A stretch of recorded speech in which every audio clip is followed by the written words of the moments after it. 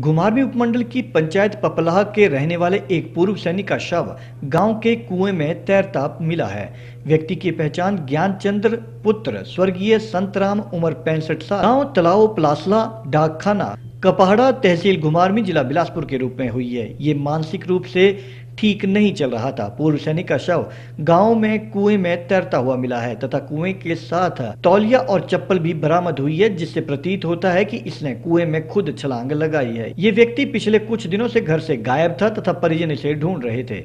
गुमारमी थाना प्रभारी मौके पर पहुँचे और शव को कब्जे में लिया तथा शव का पोस्टमार्टम करवाने के बाद इसे परिजनों को सौंप दिया।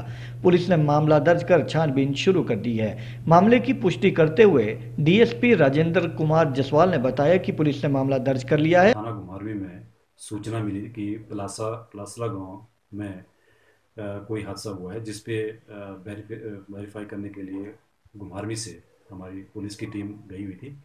तो वहाँ पता चला कि कोई व्यक्ति जो है कुएँ में गिर गया है और उसकी, उसमें डेथ हो गई है। और उसके बाद जब पता किया गया तो पवन कुमार, उस जिसका पता किया गया तो पवन कुमार वहाँ, जिस गाँव का था, उसने बोला कि मेरा फादर है। तो जो लगभग तीस चालीस साल पहले जो है, फौज से आया था और थोड़ा मेंटल डिस्टर्ब रहता था।